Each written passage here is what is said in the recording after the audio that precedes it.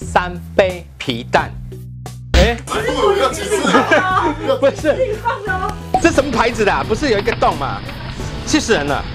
保证学得会的。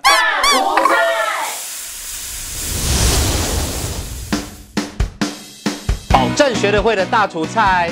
那这一道呢，我们是非常多好朋友喜欢的，叫做三杯皮蛋。有一个重点呢，在我们一二三呢，我一定要告诉你，就是这个皮蛋呢，就是买现成的，但是你一定要把它蒸过啊。切蛋呢，就是前后拉，啊，不要用压的方式。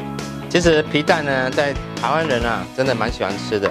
当然喜欢吃的狗狗的，那你说做料理呢，把它蒸熟，它是做起来会比较漂亮。好，来这样子，我们就来 setting 一下。哎，是新的一道哈。没有了，你已经讲过了。好，我已经讲过了哈。来，哦，自己才飞，哎，倒不出来，新的我要笑死了。哇，是不是这段哇，少许。接下来就是要我们的皮蛋，把它裹一点点的粉，中间吸筋啊，不是中间中筋，哎，中筋低筋高筋都没关系。我怎么说吸金呢？对啊，取吸金啊。不要紧张。其实很多网友会觉得我们可以，没有，其实我们都没有蕊过啊，其实我们都是很自发，真性情。对，好香哦，飞马油味，好香哦，对不对？啊，来半煎炸的方式，让它表面呢有一点点焦化焦化。这样子吃起来会比较爽口哦。来，是不要换锅吗？不用不用不用，来再一点点的麻油。哎，为什么？要几次？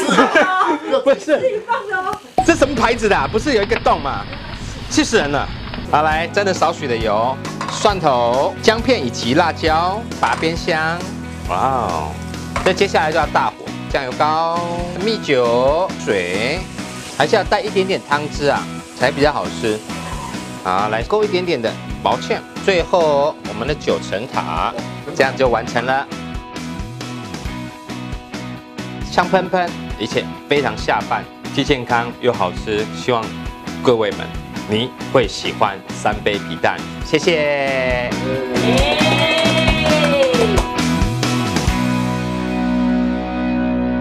哎，每个礼拜一句客家话，这叫七千餐，七层塔。